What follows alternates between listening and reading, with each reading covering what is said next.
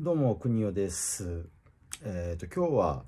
ハロプロのたくさん、えっ、ー、と、活躍してきているアイドルの中でも、えっ、ー、と、僕がダンスについてとてもかっこいいな、可愛いいなと思っている子たちを紹介したいと思います。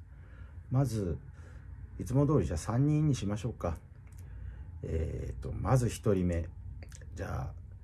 えっ、と、3位から2位、1位みたいにしましょうか。期待して順位つけるなというかもしれませんけど、ちょっとなんかは面白そうにやりますんでお付き合いください。じゃあまず第3位。えっ、ー、と、意外に思うかもしれませんが、秋山真央ちゃんです。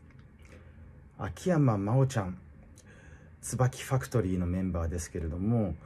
彼女はものすごく反応というのが最初はいい、そして想像力に長けたダンスをするなというふうに思いました。それはハロプロ研修生の時代に僕はあまり気がつかなかったんですけれども2000あれ？17年だったかな？えっ、ー、となんだっけ？最初にハロプロ実力診断、うん、あ違う。なんだっけ？発表会？でえっ、ー、と一発目で「体だけが」をジュースのあの曲を体だけが大人になったわけじゃない的な曲をえっ、と最初に出てきてパフォーマンスされた時にもうその時僕ジュースジュースものすごく、うん、もう恥ずかしいぐらい見てたんですけどコンサートだったり映像だったりもう恥ずかしいぐらい見てたんですけどそんな僕からしておいおいそこ変えちゃうんだっていう振り付けを行いまあ歌はまあまあまあそこそこ歌いつつそして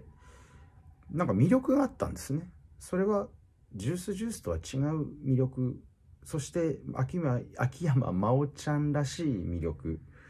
うん具体的にどういうところかというとなんか自分がその世界に入っていこうとして振り付け変えてますからね。あの入っていこうとして一番体の関節なのかこのフィーリングなのかがこっちの方がハマるんだよっていうなんか新たな提案をしているようなそういう楽しさがありましたね。でダンスって楽しいものであってほしい。もう型も大事ですよ。あの基本も大切だと思いますけども楽しいものであってほしいんですよ。でそれがすごく表現できていたし、えーと、これから楽しみ楽しいことやってるやつこれから楽しみだなっていうようなあなんだろう。なんかなんかなんかそういう気持ちになった、えー、のが最初見出したきっかけでなぜそれで、えー、3位までってみたいなことを言うかというと今ものすごいんですダンス部なんていうのがハロープロのハロコンでありますけどもまあ見まもちろん見ましたけどああもうすごい、えー、ちょっと後でまたもう少し補足しますね。えー、とにかく、真央ちゃんすごい。いや続いて、第2位。えっ、ー、と、僕、これ、よく、よく言ってたりし、よく言ってなかったりするんですけども、第2位、高木佐伯です。えー、彼女は、ダンス面として名前上がらないんですよね。歌唱面としてはよく名前上がるんですけれども、なぜ2位なのかというと、なぜそこまで評価が高い？偉そうだけどね。なぜそこまで評価が高いかというと、彼女のダンスはもう今今年なんか最高だけど、どこにいても高木さゆきだろってわかります。おそらく衣装の先、手足含めて全部に神経が行き届いていて、ともすればやる気がなさそうに静かめに見えるとかもあるんですけども、まあこれ狙って試してますよ。で2年ぐらい前はすごく2018年ぐらいですよね。はすごく大きく踊り少しチームからはみ出すようなこともやっていた時期もあったと思いますしその1年前の2017年ぐらいは歌の方ですごく振り幅が大きくして、えー、大きくすることでなんかギリギリセーフかアウトか審判次第みたいなところを行き来する中で試していた時期というのがその時2014年ぐらい声だったと思いますけどもあったんですねそれでいよいよ今年に来て2020高木佐伯まとめに入ってるなというふうに思えるところがあります。えーと、先ほど言ったように具体的に言うとダンスで言うと動きを小さくそして自分の体というのの細部に、えーと、息が届いているような形なため衣装の動きで含めてですけども最大限な表現として活かせている。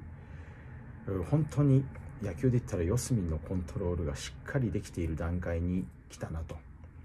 球は160キロじゃなく140代後半ぐらいでいいんだよみたいな。すごく芸術性が高いダンス。それをやっていらっしゃるのが今のさゆきちゃん。いいなと思います。そしてナンバーワン。えー、ともうこれ僕ずっと言っているハロプロのダンスではナンバーワンは佐々木里香子ちゃんです。佐々木里香子ちゃんすごい、えー、チームでアンジュルムでやってる時のアンジュルムの佐々木里香子ちゃんなんですけど、えー、チームでやっている時のダンスというのは躍動感にも溢れているんですがなんか乗り移ってるような憑依型というよく言いますよね。憑依型というようなところもありつつなんだけども絶対にリカ子なんですよ。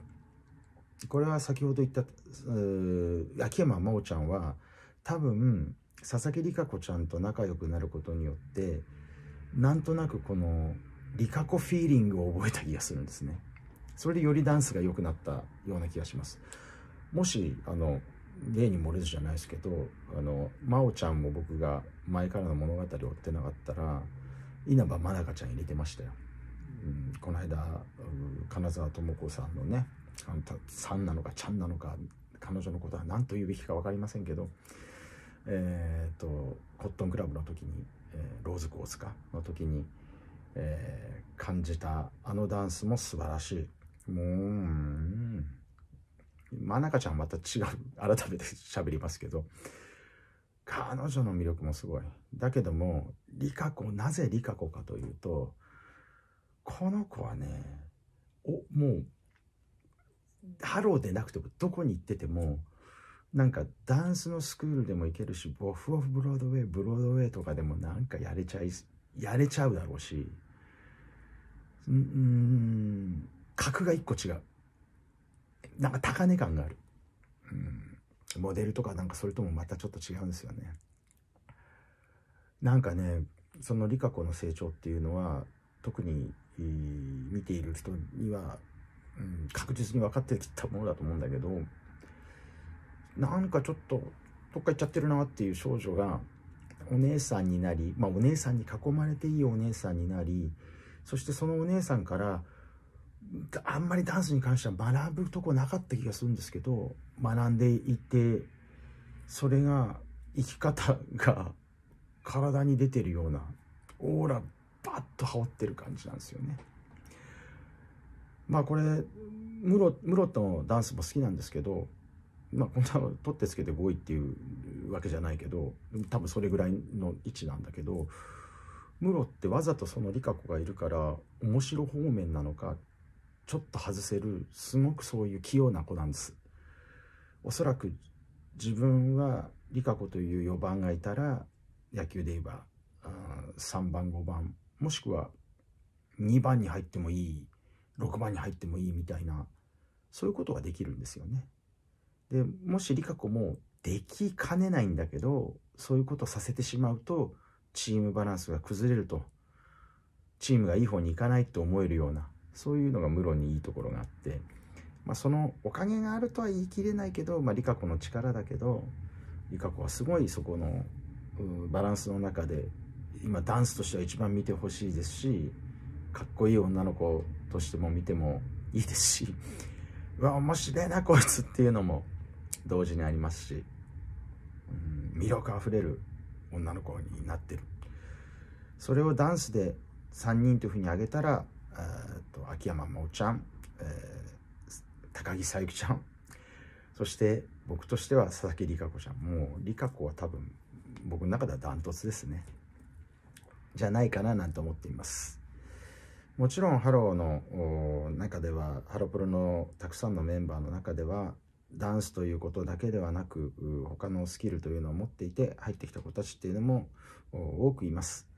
そしてその中で、えーと、彼女たちの魅力というのはこの一言一言ずつで語られるものではないんですけれども今知っといてもらいたいところ僕が持ってる目線というのはこんな感じだというのをお届けしましたそしてえ、ー、とお前こいついないだろうというのは あると思うんですけど平井美桜ちゃん平井美桜ちゃんをなぜこのベストのところに入れなかったかというと,、えーと、答えは、まあ、2つあります。えー、1つはまだ本気出してない美桜はまだ本気出してない、えー、なんでかというと,、えーと、これでもだいぶ出してますけどおそらくビヨンズというところのあの先輩方本年齢ではなくキャリアの先輩方というところに邪魔しないように生きているところがあります。えー、そこは可愛いんです。で、去年の、なんていうのかな、拳とやったミュージカルかな、12人的なやつかな？あの あそこで、えー、ソロのダンス、ものすごくかっこいいし、自分で振り付け考えた、ものすごいんです。でも、僕ね、ああいう方のもう少し上な人っていうのは、他で結構見れてしまうことを知っているから、まあ、そこはさっき挙げた3人っていうところはすごくもう自分で回して回して今たどり着いてる物語から自分に流れてるんですね。そこでちょっと、うん、オルタナというか違う考え方で見ていました。で、平井美桜ちゃんのダンス、その、今言えなかった2つ目の理由は、えーと、彼女自体がまだまだ当然同じ理由になるかもしれないけどもあ発展途上の部分というのを追求している最中ですおそらくベストの平井美桜っていう状態が出てきたらあのやりたい頭の中にある平井美桜のベストが出てきたらものすごく面白いと思う、もう今でも面白いけど、うん、あと声が可愛い。まあちょっと関係なかった声が可愛い。本当に可愛い。参った。うん。まあ、ビヨンズの話はまた改めてしましょう。じゃあそんな形で、えっと、今日は、今回はダンスについて、えっと、ちょっと触れてみました。えっと、なんかいろんな意見分かれそうなんですけども、コメント欄でもいいですし、まあ、僕ツイッターも魅惑の国をという名前でやっておりますから、そこで、もう、お前違うよとか言ってくれてもいいです。えっと、そんな会話も楽しみましょう。えっと、国をでした。またね。